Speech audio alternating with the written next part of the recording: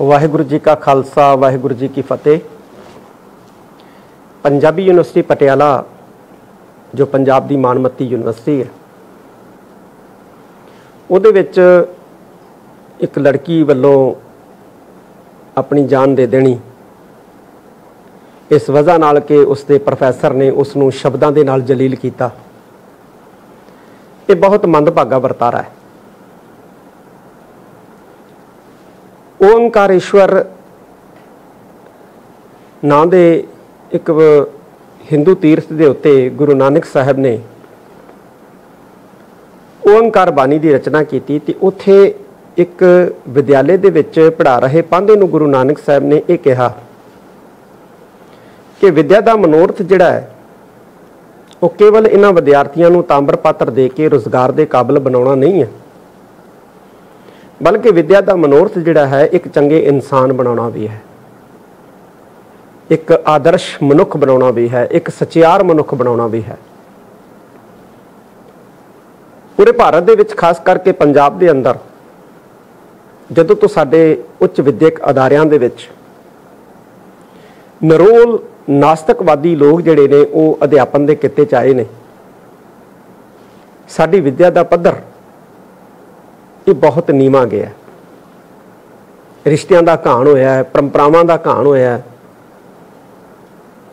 ਔਰ ਸਾਡੇ ਪੰਜਾਬ ਦੇ ਜਿਹੜੇ ਸਾਡੇ ਵਿਦਿਅਕ ਅਦਾਰੇ ਹੈ, ਇਹ ਦਿਨੋਂ ਦਿਨ ਦਿਨੋਂ ਦਿਨ ਨਿਵਾਨ ਵੱਲ ਗਏ ਨੇ। ਜੋ ਭਾਰੀ ਚਿੰਤਾ ਦਾ ਵਿਸ਼ਾ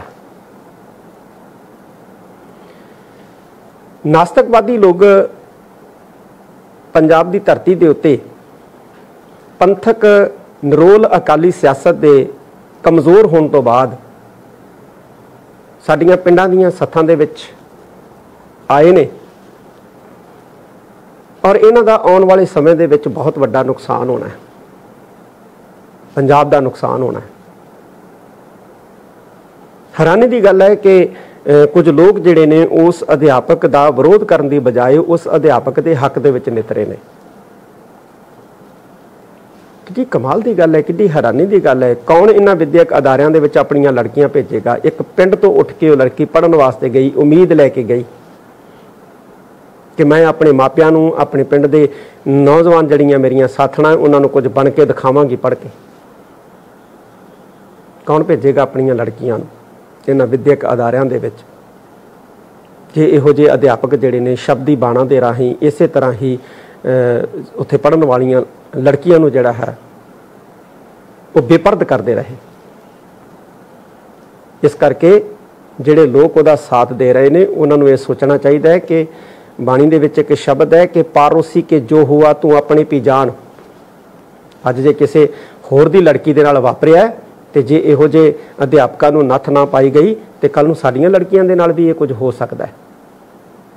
ਇਸ ਲਈ ਪੰਜਾਬ ਸਰਕਾਰ ਨੂੰ ਚਾਹੀਦਾ ਹੈ ਕਿ ਇਸ ਮਾਮਲੇ ਦੀ ਉੱਚ ਪੱਧਰੀ ਜਿਹੜੀ ਹੈ ਨਿਰਪੱਖ ਜਾਂਚ ਜਿਹੜੀ ਹੈ ਉਹ ਕਰਵਾਵੇ ਤੇ ਉਸ ਦੋਸ਼ੀ ਅਧਿਆਪਕ ਦੇ ਖਿਲਾਫ ਸਖਤ ਤੋਂ ਸਖਤ ਕਾਰਵਾਈ ਕਰੇ। ਉਲਟਾ ਵਿਦਿਆਰਥੀਆਂ ਦੇ ਉੱਤੇ ਪਰਚੇ ਕੀਤੇ ਜਾ ਰਹੇ ਨੇ।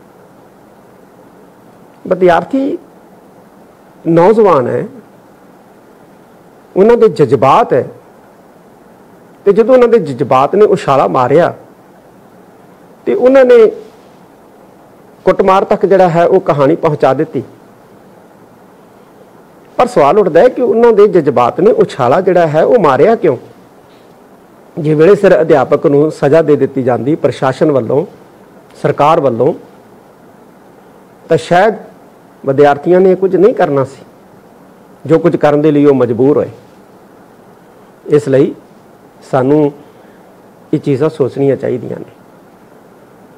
ਬੇਹੱਦ ਨਿੰਦਣਯੋਗ ਹੈ ਜਿਹੜੇ ਉਸ ਅਧਿਆਪਕ ਦੀ ਸਪੋਰਟ ਦੇ ਵਿੱਚ ਉਤਰੇ ਹੋਏ ਨੇ। ਚਾਹੇ ਉਹ ਪੋਲੀਟੀਕਲ ਲੀਡਰ ਨੇ, ਚਾਹੇ ਉਹਦੇ ਸਾਥੀ ਅਧਿਆਪਕ ਨੇ। ਸਾਨੂੰ ਉਸ ਲੜਕੀ ਦਾ ਸਾਥ ਦੇਣਾ ਚਾਹੀਦਾ ਹੈ, ਜਿਹੜੀ ਮਜਬੂਰ ਤੇ ਲਾਚਾਰ ਹੋ ਕੇ ਆਪਣੀ ਜਾਨ ਗਵਾ ਬੈਠੀ। ਵਾਹਿਗੁਰੂ ਜੀ ਕਾ ਖਾਲਸਾ, ਵਾਹਿਗੁਰੂ ਜੀ ਕੀ